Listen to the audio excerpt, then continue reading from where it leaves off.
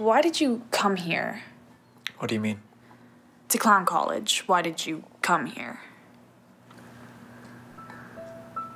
My father was afraid of clowns. What? He, uh. He used to hit me. My mother was too drunk to notice for a while. I assumed he hit her too. But she would never tell me.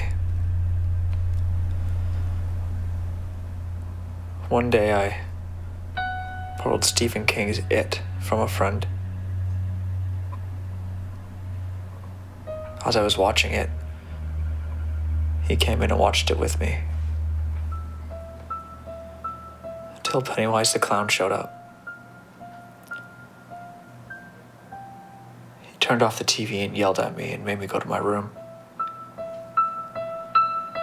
So I started dressing up like this to scare the shit out of him. Sometimes he'd be so scared he wouldn't even come near me. Got to the point where I never took the makeup off. What happened? He left my mom and I when I was 16. Haven't seen him since, and I don't plan on it.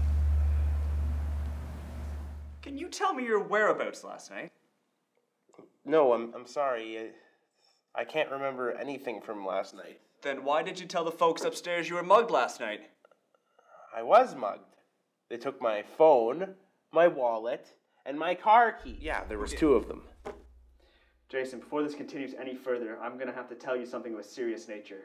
This may not be easy to hear. What is it? Jason Weissman, 0304, 1987. Your body was stabbed in the abdomen. Your body was taken to the hospital, where your body expired from excessive blood loss. My body? You're trying to tell me that I'm dead? That is correct, Jason. Oh, seriously, what is going on here? Jason, it might be easier if you think of this place as limbo.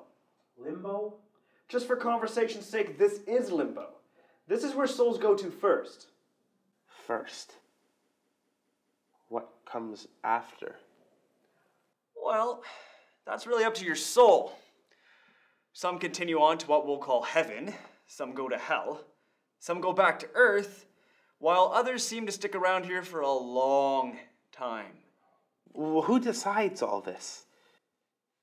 I do. What's gonna happen to me? Well, let's have a look at your file, shall we? Hmm. Yeah. There's not much convincing evidence here saying that you're worthy of our heaven. So you're sending me to hell? Oh, let's not jump to conclusions. These things can take time to figure out. Why don't you go wait outside while I sort this out, okay?